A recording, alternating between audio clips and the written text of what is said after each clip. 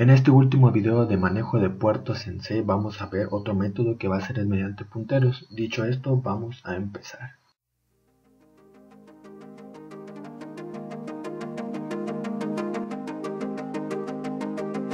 Antes de empezar con el tema tenemos que tener en cuenta que cuando nosotros definimos alguna variable, en este caso en nuestro programa, nuestro compilador reserva un espacio en nuestra memoria de nuestro microcontrolador, es en donde va a estar establecida esa variable o en donde se va a encontrar. Ya en este caso se va a almacenar en nuestra memoria RAM. Ahora sí, vamos a saber para qué nos sirve un puntero. Bueno, un puntero es una variable más que, que nos va a permitir almacenar la dirección de memoria de otra variable. Es decir, que va, a permitir almacenar la dirección que tengamos en, en X variables. Para empezar tenemos que saber cómo se definen nuestras variables dentro de nuestro programa. Primero se pone en este caso el tipo de dato que, que, va, a ser esa variable, en este caso puede ser entera, flotante, char, string, etc. Seguido de va el nombre, en este caso por ejemplo aquí observamos que se llama temperatura y después el valor o la inicialización, en este caso va, va a valer 0 al principio. Y ahora vamos a pasar a cómo definir un puntero en nuestro programa y se va a definir casi de la misma forma pero con una pequeña variante. De igual forma va a llevar el tipo de dato, en este caso le estamos diciendo que va a ser entero y después va a llevar un asterisco que va a indicar que es un puntero y posteriormente el nombre. Ahora sí, ¿qué operadores dispongo para manipular mis punteros en C? En este caso vamos a tener tres, pero solo vamos a ver dos. El primer operador que nos va a permitir trabajar con nuestros punteros es eh, una I cursiva. Esta I cursiva sirve para acceder a la posición de memoria de, un, de una variable especificada, en este caso eh, la de temperatura. Vamos a poder acceder a ella mediante esta I cursiva. El ejemplo lo tenemos aquí abajo, que va a ser en valor que viene siendo nuestro puntero. Le vamos a almacenar la dirección de memoria que tenga temperatura lo que vamos a hacer es que se va a colocar la i cursiva antes de la variable a la que queramos acceder a su dirección de memoria. Y esa la vamos a guardar en valor. El segundo operador es el asterisco. Podemos confundirnos algunas veces con la multiplicación pero en este caso va a depender mucho de cómo lo utilicemos. Aquí tenemos eh, este ejemplo que es g igual asterisco valor. Eh, ¿Y qué nos va a permitir asterisco? En este caso, este operador eh, lo que nos va a permitir es que vamos a poder acceder al valor que tenga temperatura. Es decir, nosotros al tener la dirección de memoria de nuestra variable temperatura, a su vez con este operador que es el asterisco, vamos a poder acceder a su valor. En este caso, su valor es 0, ya que le indicamos que va a iniciar en 0 y este lo estamos almacenando aquí. Esta va a ser su sintaxis que vamos a utilizar para poder obtener el valor que tenga nuestra temperatura. Aquí tenemos g en una variable que le queramos eh, almacenar va a ser g igual asterisco valor y vamos a estar obteniendo el valor que tenga temperatura. Antes de irnos a la parte del código eh, quiero explicar una directiva que se me pasó en el video pasado. No es tan difícil es la directiva numeral define y su sintaxis es la siguiente. Eh, va a tener numeral define, va a ser un nombre, en este caso va a ser cualquier nombre que nosotros le queramos poner y después va a seguir en X, va a ir el valor que nosotros de igual forma le vayamos a indicar. Podemos, con esta función podemos definir también nuestros pines, pues en nombre podemos poner pin RB0 y en valor podemos, como lo, como lo vimos con Triciport, le podemos poner port el pin que queramos, en este caso el, el 0. O puede ser port.1 para el RB1 o port.2 para el RB2. ¿Cómo funciona esta directiva? Bueno, nuestro compilador nos, al ejecutar el numeral de fin, eh, lo que va a hacer es que va a sustituir, en este caso, eh, nombre por el valor que tenga x, en este caso el valor que nosotros le hayamos dado.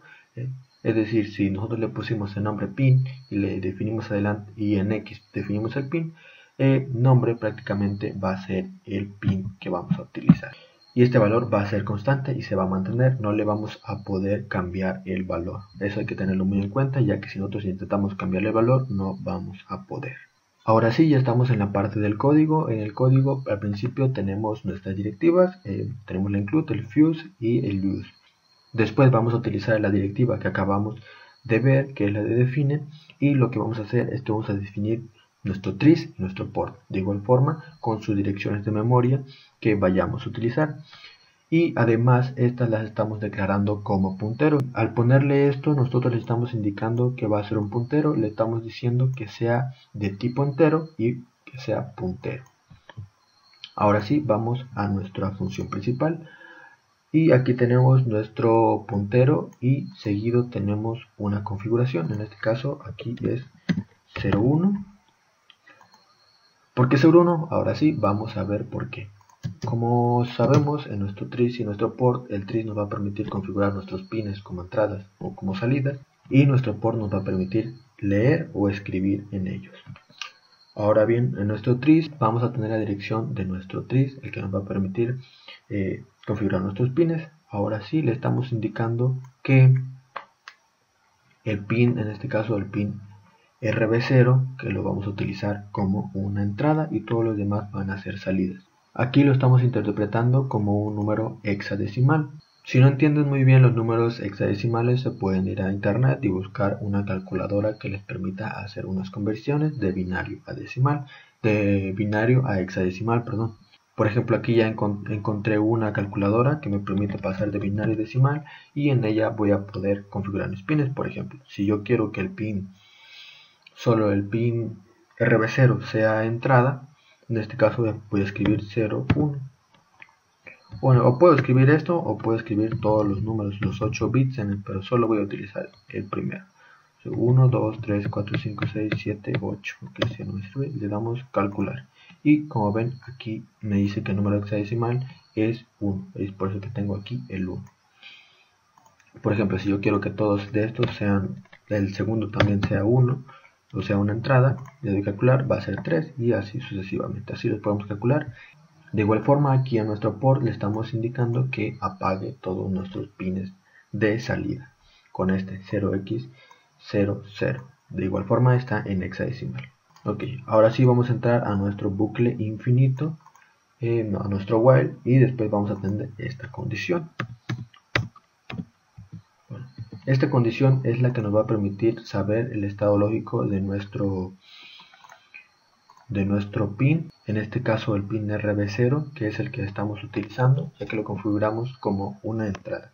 Y el pin RB1 como una salida, lo estamos configurando aquí, ya le dijimos que sea una salida. Una vez dentro de nuestro bucle, ahora sí viene nuestro, nuestra condición, en este caso nuestro if else.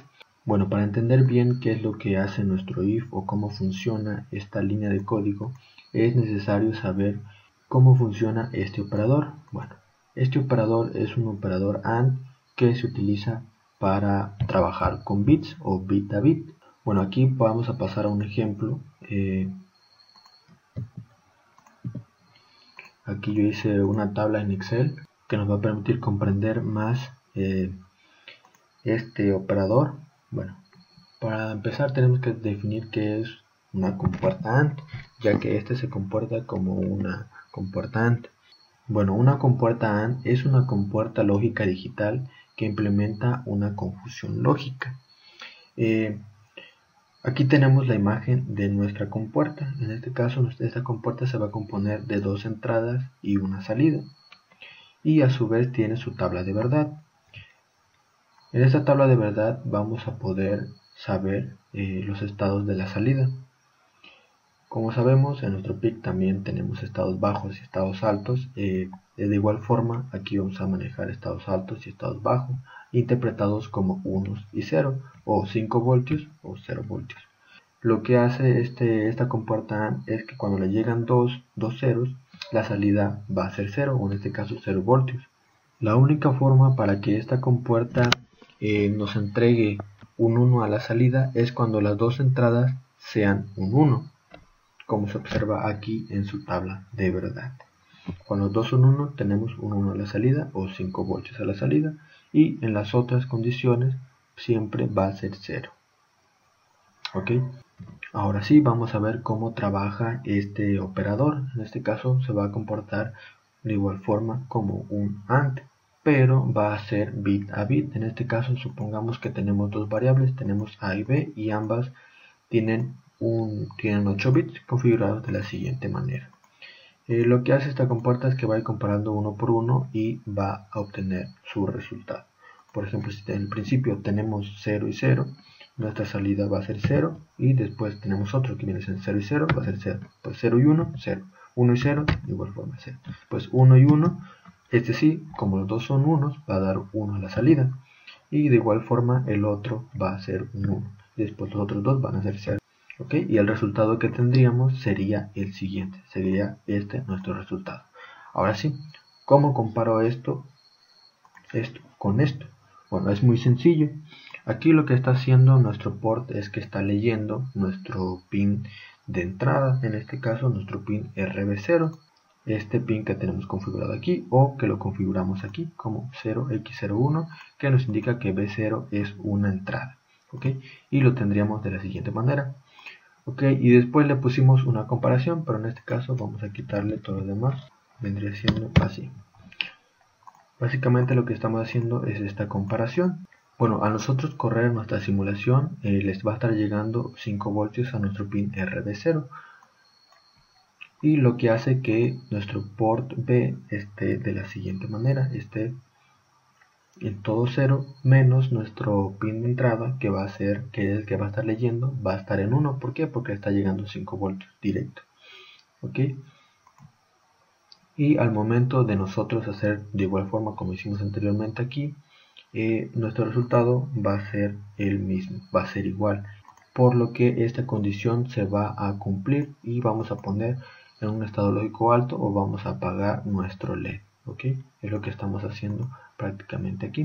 ¿Y qué pasa cuando nosotros pulsamos nuestro botón? Lo que pasa es que va a leer nuestro puerto B y va a tener ahora esta configuración porque le está llegando 0 voltios, en este caso 0, un, un 0 lógico y vamos a hacer la comparación y al final vamos a tener como salida un 0 lo, que, lo cual ya no se va a cumplir nuestra función de arriba y va a pasar a la función de abajo que va a encender nuestro led ¿ok?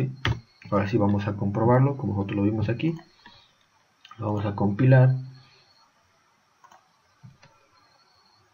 y vamos a correr nuestra simulación ¿ok? la corremos y tenemos el pin RB0 como entrada y el este como salida. Vamos a ver. Y como ven, se está cumpliendo nuestra condición y está funcionando correctamente. Ahora bien, si yo quiero utilizar estos tres botones que puse aquí, lo que tenemos que hacer es ver qué pines los vamos a utilizar como entrada y qué, pines van a ser salidas. ¿ok? Ahora sí podemos irnos a nuestra calculadora de binario hexadecimal para sacar el número hexadecimal que necesitamos ahí. Por ejemplo, si nosotros queremos que el pin RB0, el RB2 sea una entrada y en este caso el pin RB4 va a ser también una entrada, lo colocaríamos de, la siguiente manera. Y le damos calcular. Y aquí ya tenemos el número en hexadecimal que vendría siendo el 15. Ahora sí, aquí va a ir el 15 15 ahora sí de igual forma vamos a ir a excel y entonces aquí ya no sería el pin rb2 sería sería el rb2 p4 serían esos pines serían nuestros pines de entrada. Y en 0x15 nuestro binario sería este. Y aquí tenemos nuestros pines el RB0, el RB2 y el RB4 como entradas. Y una salida que es RB1 bueno ahora lo que vamos a hacer es cambiar nuestra condición aquí ya que vamos a necesitar comparar esas tres entradas. Y lo que vamos a hacer es que cuando esas tres entradas estén presionadas vamos a prender nuestro LED eso lo vamos a hacer de la siguiente manera vamos a poner 0 y vamos a poner un 1 ¿okay? Ahora sí, ya estamos comparando la entrada número RB0, bueno, nuestro pin RB2, nuestro pin RB4. ¿Ok? Ahora sí, vamos a compilar y vamos a ver qué es lo que sucede. Lo corremos, ahora sí vamos a presionar este, presionamos el otro y presionamos el tercero y como ven ya se nos enciende nuestro LED. ¿Por qué? Porque ya se está cumpliendo, bueno, ya no se está cumpliendo nuestra condición, perdón, esta ya no se está cumpliendo y va a pasar a esto. Ahora bien, ¿por qué solo estamos ¿Por qué solo se enciende este y no se encienden todos los otros? Porque son salidas. Porque aquí le estamos indicando que nuestro puerto B sea 0x02. ¿Y qué nos quiere indicar eso? Bueno, vamos otra vez a nuestra calculadora. Ahora sí, de hexadecimal a binario y lo que le estamos indicando aquí, vamos a borrar aquí 02, le estamos indicando que nuestro pin, el RB1, que lo ponga a un estado lógico alto. Al contrario, cuando utilizamos esto le estamos indicando que lo ponga en estado lógico bajo. Y de igual forma, eso es lo que sucede aquí en nuestro, nuestro ejemplo, que viene siendo este, que al principio va a valer este va a ser 1, y este va a ser 1, y nuestra comparación, ah, perdón, aquí no es, es aquí, y aquí un 0. Y nuestra comparación va a ser esta, ok. Ahora sí, al momento de correr el programa, todos a nuestros pines está llegando 5 voltios y por eso va a tener esta configuración y va a hacer la comparación y se va, al último vamos a tener la salida de un 1 o en este caso vamos a tener el mismo resultado de cualquiera de estos dos. Porque son iguales. Al momento de pulsar este pin se va a volver 0 y ahora sí ya no van a ser iguales, pero al final de cuentas vamos a seguir teniendo un 1 a la salida, ya que vamos a tener 0, 0, 0, 0, 0, 1, 0, 1. Y al final de cuentas aquí tenemos dos unos, por lo cual se sigue cumpliendo nuestra condición. La única forma de que no sea verdadera nuestra condición, de que todo sea 0, es cuando pulsemos los 3 y abajo vamos a tener 0. Y ya no se va a cumplir nuestra condición, porque ya van a valer 0 y nuestra condición ya no se cumple de que sea un 1. ¿Ok? Bueno, eso es todo por este video y en el siguiente video vamos a aprender a configurar nuestra LCD en nuestro microcontrolador.